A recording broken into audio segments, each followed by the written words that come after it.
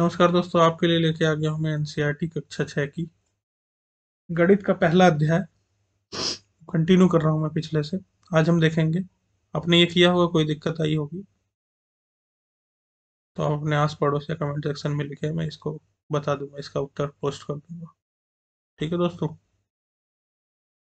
कैसे इसको हल करते हैं सारणी बना के। आज हम देखते हैं कि पहला उदाहरण क्या कह रहा है। जनसंख्या से रिलेटेड है देखिए क्या क्या कह रहा है।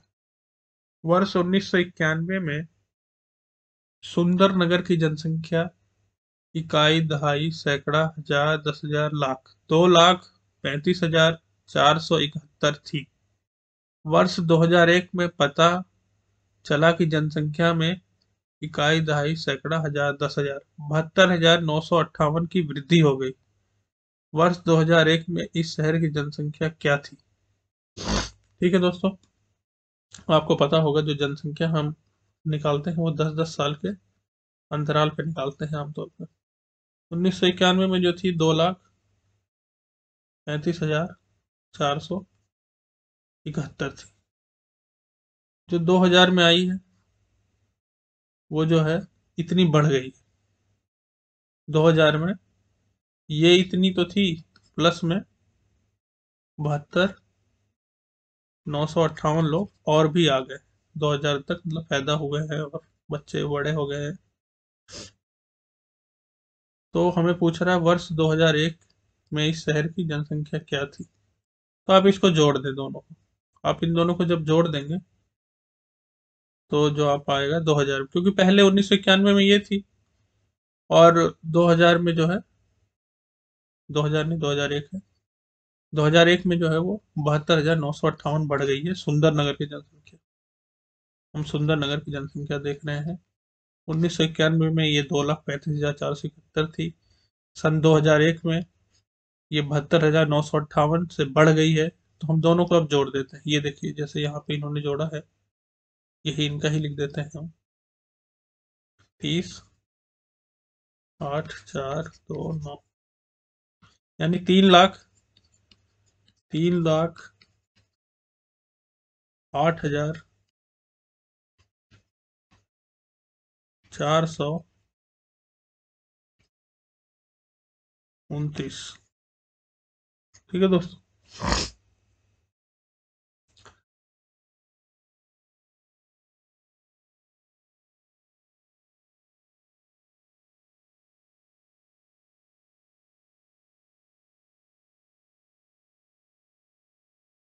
अगला प्रश्न देखिए क्या कह रहा है दोस्तों। किसी राज्य में वर्ष 2002-2003 में कोई राज्य ले लें, हम मान ले ले लेते हैं हरियाणा। हरियाणा ऐसे करके देश है, दिल्ली के पास है, यहाँ पंजाब है, यहाँ पंजाब है, ये हरियाणा, इधर राजस्थान। ठीक है दोस्तों? ये दिल्ली है, ये यूपी तो हम हरियाणा को ले रहे हैं।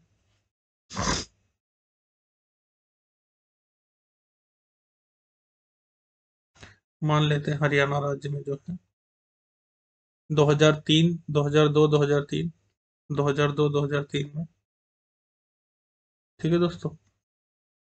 2002 2003 की बात कर रहे हैं हम। वर्ष जो है।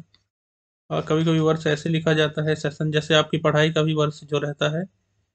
2000 सेशन लिखा जाता है 2021 22 या फिर जो हमारा बहुत सारी चीज़ें जो है, आयकर वगैरह, इन सब का भी एक सेशन लिखा जाता है। सेशन कहते हैं इसको।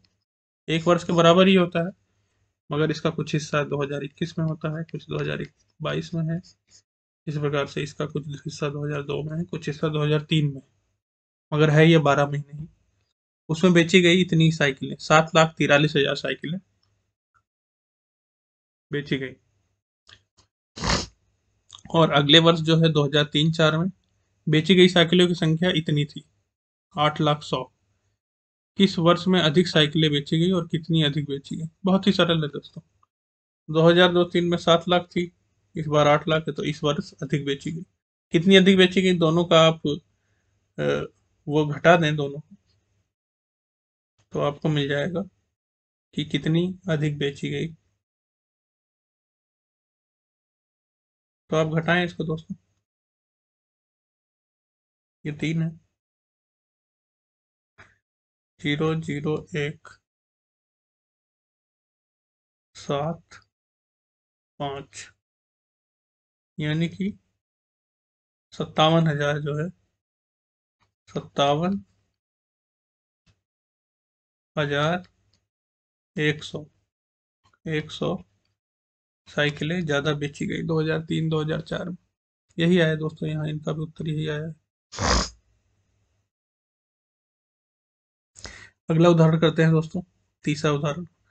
कह रहा है, एक शहर में समाचार पत्र प्रतिदिन छपता है, एक प्रति में बारह पृष्ठ होते हैं। प्रतिदिन इस समाचार पत्र की इतनी प्रतियाँ छपती हैं, प्रतिदिन सभी पत्रियों को कितने पृष्ठ छपते हैं।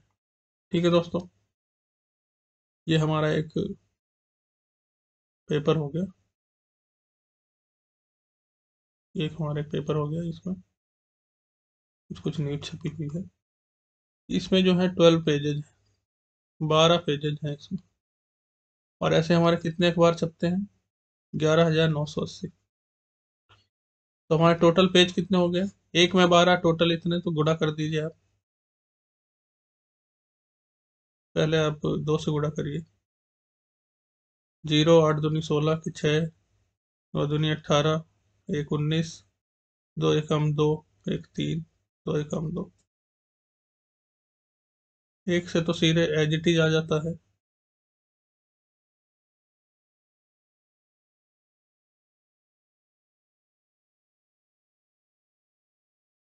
आ गया दोस्तों, एक लाख तिरालीस हज़ार सात सौ साठ। जी, इनका भी यही आया है।